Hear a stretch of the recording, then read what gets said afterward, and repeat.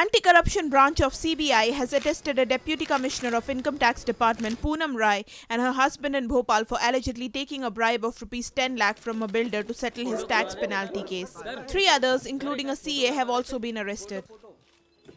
Poonam Rai and her husband Ganesh Malviya, a BJP leader, have been caught red-handed by CBI accepting cash at their official residence at Income Tax Colony.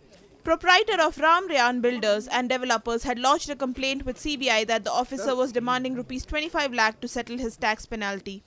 When approached by the complainant, CBI laid a trap and Poonam Rai and her husband were caught red-handed.